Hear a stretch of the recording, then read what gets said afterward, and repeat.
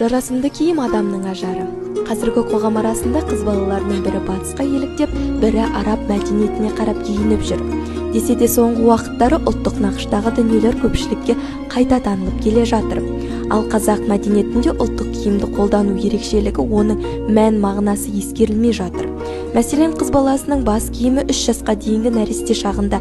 Ит тақия сырма кепеш тақия болса бес жастан бастап сырға тағып шыт тақия киген.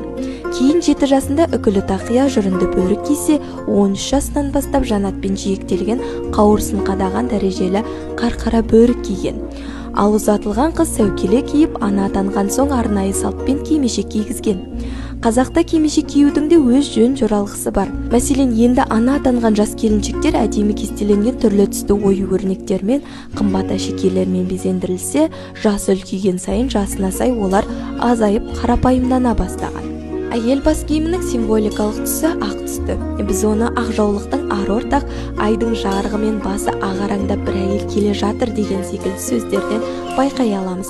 Ақ жаулық апаларымыздың ақ ниетінің иман жүзділігінің кіршіксіз адам табынарлық мөлдір мінезінің де белгісі еді бұдан біздің байқайтынымыз қазақ мәдениетіндегі киім тек сәндік үшін ғана емес тәрбиелік рөлді де сомдағанын аңғарамыз кісінің кісілігі киімнен деген сөзді осыдан шықса керек.